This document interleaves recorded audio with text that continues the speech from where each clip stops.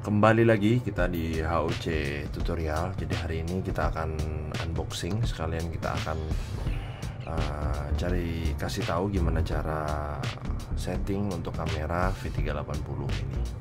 Jadi ini sekarang yang ada di video ini kameranya itu V380 tapi yang versi merek yang Gime ya. Jadi dia ada beberapa versi cuma intinya di kamera ini ini kameranya V380 Pro karena dia menggunakan aplikasi V380 Pro. Oke kita langsung cek aja. Sini kita ada buku manual. Dan untuk uh, kamera IP kamera ini bisa juga support ke iPhone ya, ataupun Android ya. Nah, di sini ada caranya. Ini untuk yang Android ini untuk yang Apple. Terus ada cara-caranya semua. Di video ini gue akan kasih tahu gimana caranya. Nah, terus kita dapat satu unit kameranya. Kamera IP cam yang udah bisa komunikasi dua arah ya. Jadi dia udah ada mic dan juga ada speaker untuk keluarin suara kita. Nah dan terus sisanya kita di sini dapat kabel micro USB untuk jason visor dan juga bracket untuk di bawah kameranya. Oke. Nggak akan kita pakai. Nah, jadi yang akan kita pakai cuma tiga item ini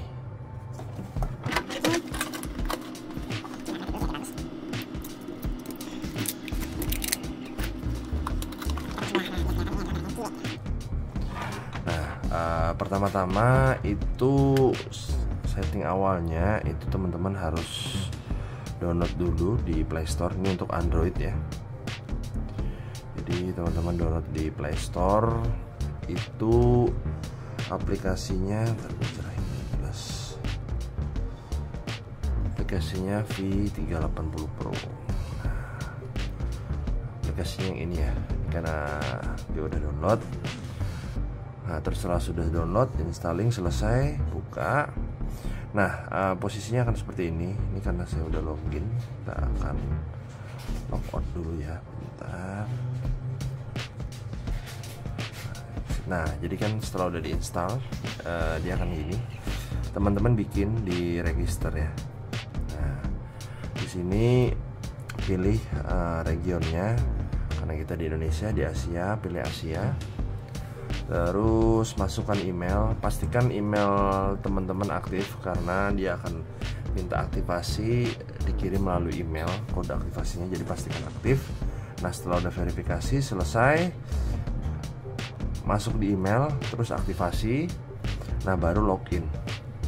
Login di sini. Nah karena gue udah bikin. Nah tinggal login aja.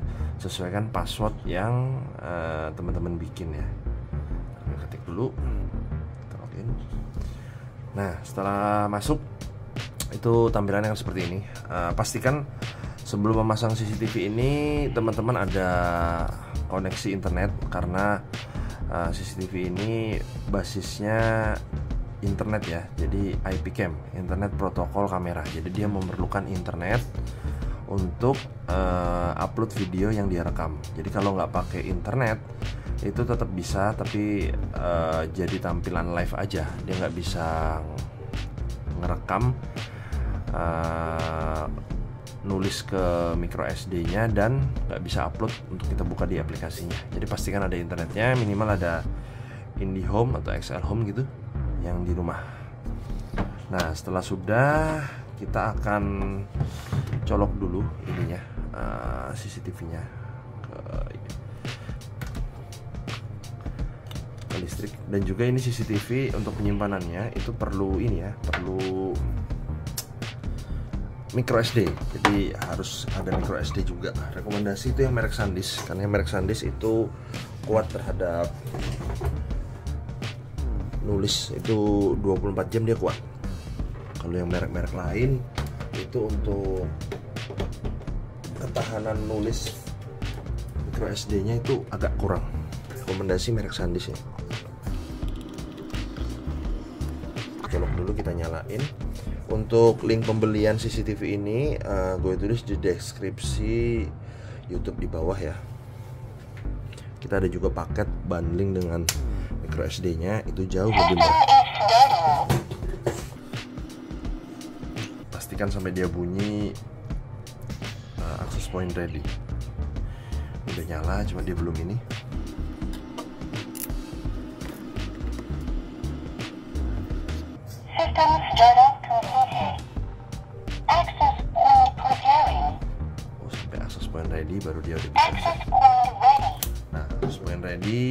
Saatnya kita setting.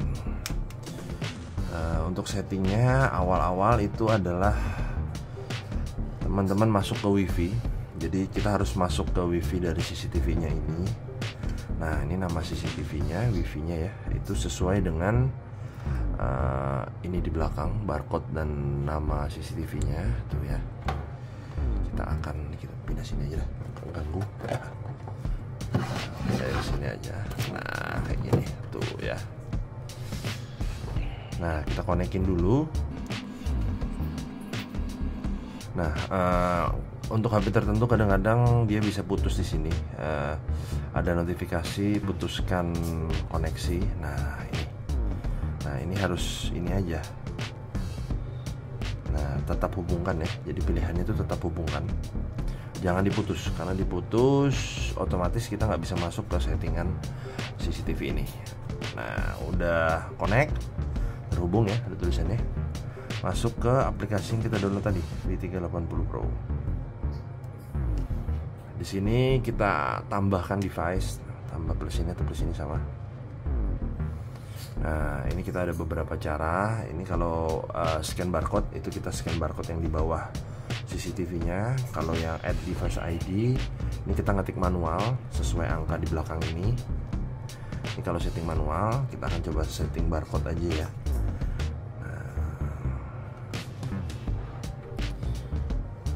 Nah ini nggak bisa. Kita setting manual aja berarti.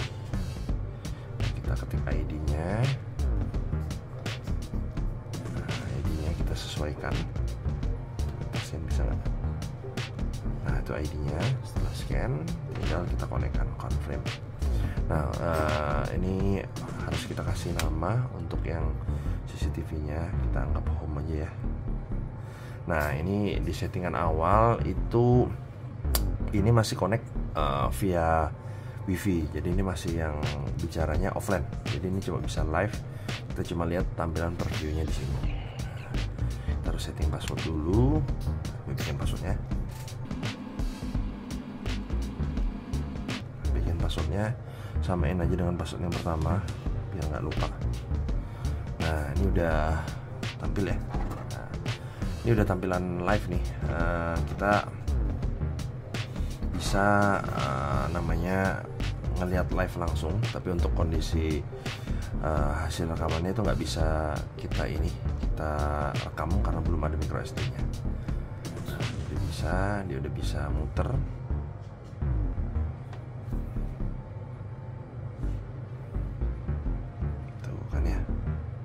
dan bisa juga uh, ini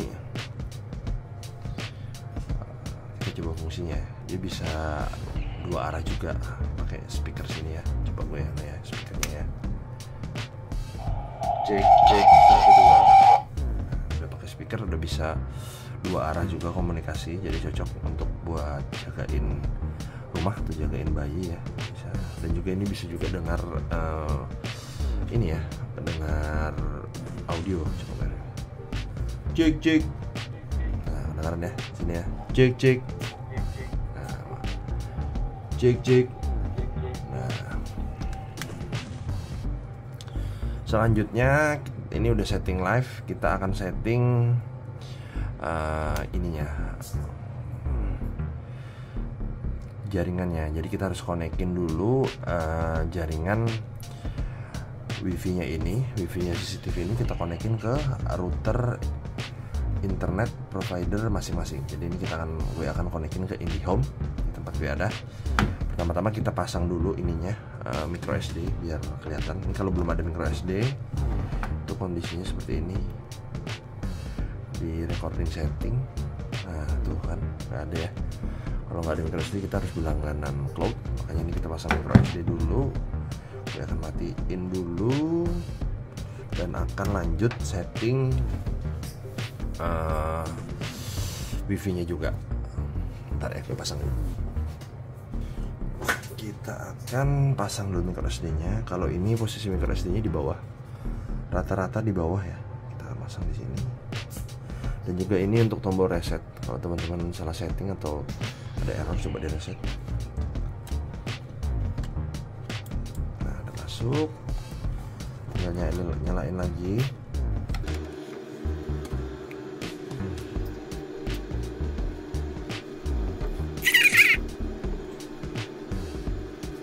CCTV ini juga ada infrarednya ya tadi kelihatan.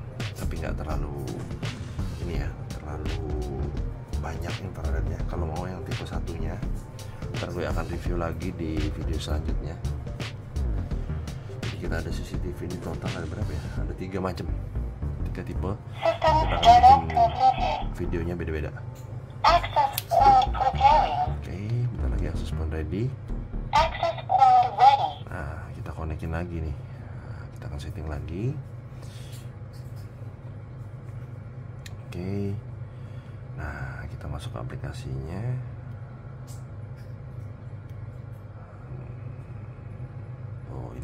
Ini keputus nih. Nah, ini kan nggak bisa connect kita. Kita connect dulu ya. Nah, setelah udah connect baru dia bisa. Nah, tuh online kan ya.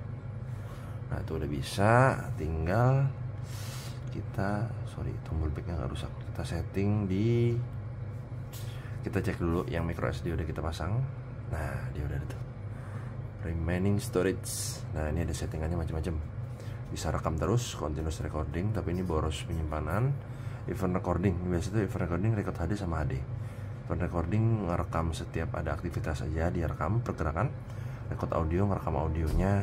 Nah ini kualitas videonya kita pilih aja. Yang HD aja biar kelihatan bagus. Oke lah terakhir kita setting di network. Nah ini. Ini kondisi eh, sekarang kan di settingan AP mode ya. Jadi ini kita connect ke si CCTV nah kita akan konekin si CCTV ini ke router ke jaringan internet biar dia bisa rekam dan biar dia bisa diakses videonya di aplikasi. Kita pindahkan menunya ke wifi station mode. Nah wifi station mode eh, tinggal cari wifi di tempat hmm, teman-teman CCTV ini ditaruh. Pastikan eh, jaringan wifi nya sampai biar nggak putus-putus. Dia kalau terputus eh, bakal nggak ngerekam ya kita akan konekin ya. Nah ini tinggal kita ketik. Nah udah tinggal save. Dia akan putus dan dia akan. Nah, connecting kita tunggu aja sampai dia selesai eh, loading. Dan di sini nanti akan berubah. Sebelumnya kan LAN di sini akan berubah jadi WAN karena dia udah terkoneksi internet. Ada gambar internet ya. Kalau LAN tadi masih lokal wifi ke wifi Nah kita tunggu yaudah kita buka dia bakal hilang wifi di sini. Nah kita cek dulu nah kita connect ke wifi biasa. Jadi artinya kita udah nggak pakai jaringan lokal kita pakai internet di home. Kita akan coba. Bentar. ini uh, waktunya emang nggak lama karena dia connect ke internet. Jadi tergantung koneksi internet di rumah masing-masing. Nah udah. Ini udah berubah ya jadi one. Ini artinya udah connect internet dan di sini ada logo internet ya. Ini udah selesai uh, settingannya. Ini udah sih kita bisa play. Nah ini kita terhubung dengan CCTV nya melalui uh, jaringan internet. Jadi kita misalnya di luar kota ataupun di luar rumah di tempat CCTV nya dipasang itu kita bisa cek uh, melalui HP ya smartphone masing-masing ya. Cuma karena dia koneksi internet jadi agak sedikit lambat.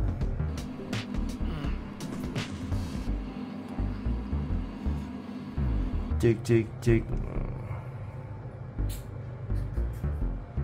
agak sedikit lambat guys.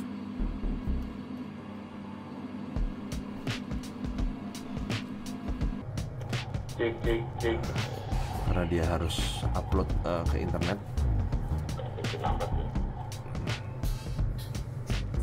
Uh, kita tunggu bentar. Kita coba ada pergerakannya bentar ya. Kita mau ngecek ini uh, ngecek hasil rekamannya.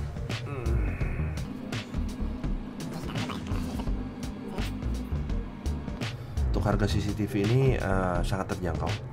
Itu cuma di bawah 200.000 ribu.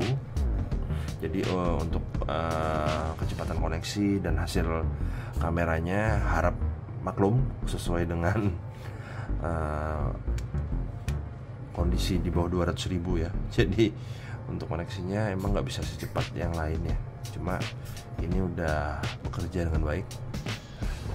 Udah coba kita cek replaynya. Nah jadi kalau teman-teman mau uh, cek hasil rekaman dari CCTV ini itu buka di replay ini ya. Nah, terus pindah ke menu micro SD nah, nah tuh kan kita hari ini uh, kita pelanin dulu ya. Ini kan direkam itu sekitar tanggal 22 22 jam 11 nah ini udah kerekam. Ya karena settingnya berdasarkan event momen pergerakan tinggal kita buka aja nih. Nah ini bisa kita play. Setelah selesai jadi emang agak lambat guys ya. Jadi uh, ada dua cara itu buat teman-teman yang pengen ngerekam. Jadi kalau yang pengen merekam bisa buka di replay. Di replay ini agak agak sedikit ini ya agak sedikit ribet karena harus di download manual per event ya. Jadi misalnya ini itu harus di download per event manual ini event group. Nah ini harus dibuka di event group download manual. Nah atau uh, di saat buka replay di sini itu bisa ditekan record ini. Tapi paling simple itu yang di replay ini buka di micro SD pilih di event group. Download yang mana terjadi uh, kejadian bisa di download nah setelah di download dia akan masuk di galeri teman-teman nah ini ada dua galeri. Ini yang hasil screenshot uh, dan ini yang hasil direkam. Nah,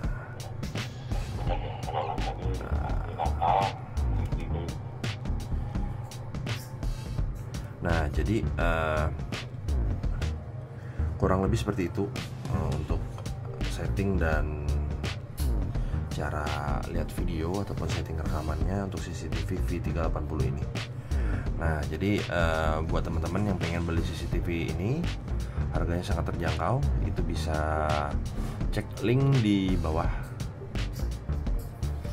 Nah, sekian dari gue Bambang video how to tutorial ini kita akan lanjut ke tutorial CCTV V380 Pro selanjutnya. Terima kasih yang udah nonton. Sampai jumpa.